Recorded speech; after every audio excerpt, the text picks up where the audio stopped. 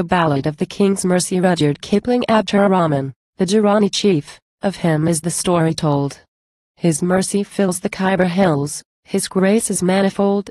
He has taken toll of the north and the south, his glory reacheth far, and they tell the tale of his charity from Balkh to Kandahar. Before the old Peshawar gate, where Kurd and Kafir meet, the governor of Kabul dealt the justice of the street, and that was straight as running noose and swift as plunging knife, though he who held the longer purse might hold the longer life. There was a hound of Hindustan had struck a Yusufzai, wherefore they sped upon his face and led him out to die. It chanced the king went forth that hour when throat was bared to knife. The Kafir grovelled under hoof and clamoured for his life. Then said the king, Ampersand quo. Have hope, O friend. Yea, death disgraced is hard. Much honor shall be thine and quo. And called the captain of the guard, Yarkhan, a bastard of the blood, so Sidi Babel saith, and he was honored of the king, the which is salt to death. And he was son of Daud Shah, the reaver of the plains, and blood of old Durrani lords ran fire in his veins.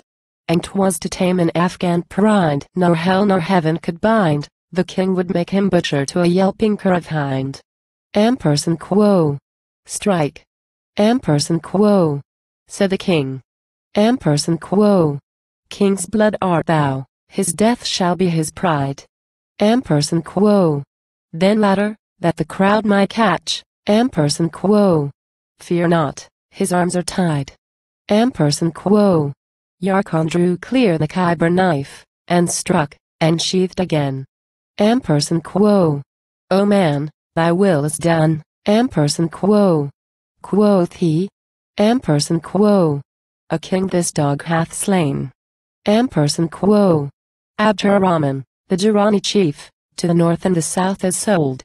The north and the south shall open their mouth to a Ghilzai flag unrolled, when the big guns speak to the Khyber peak, and his dark is fly, ye have heard the song, how long?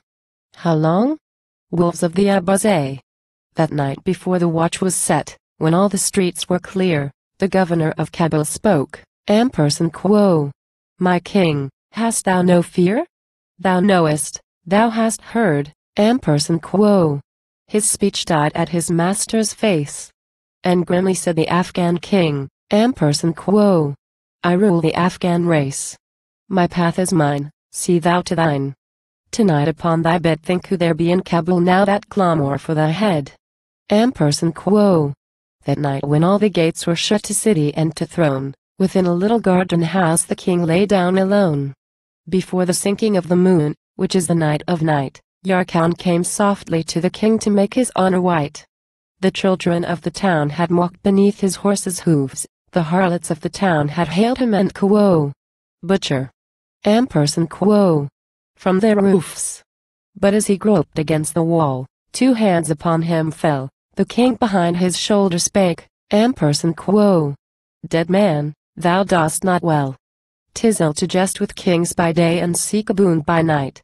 And that thou bearest in thy hand is all too sharp to write. But three days hence, if God be good, and if thy strength remain, thou shalt demand one boon of me and bless me in thy pain.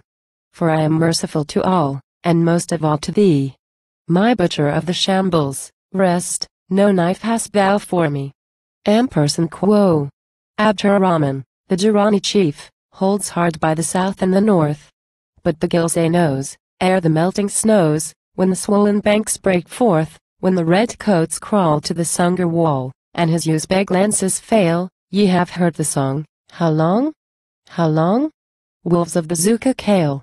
They stoned him in the rubbish field when dawn was in the sky, according to the written word, Ampersand quo. See that he do not die. Ampersand quo.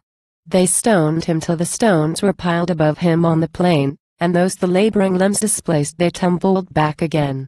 One watched beside the dreary mount that veiled the battered thing, and him the king with laughter called the herald of the king.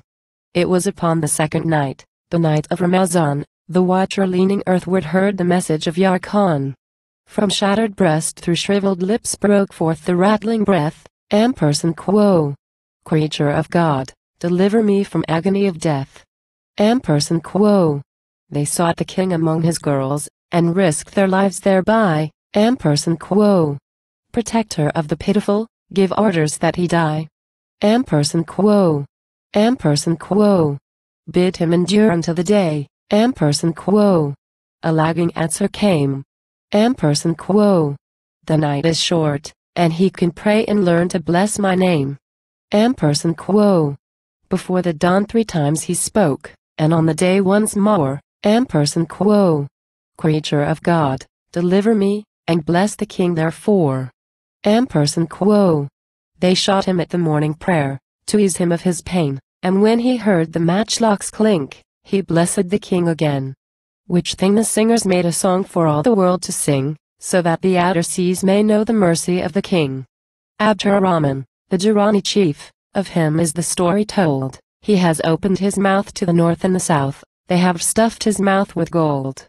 Ye know the truth of his tender ruth, and sweet his favors are, ye have heard the song, how long? How long? From Balkh to Kandahar,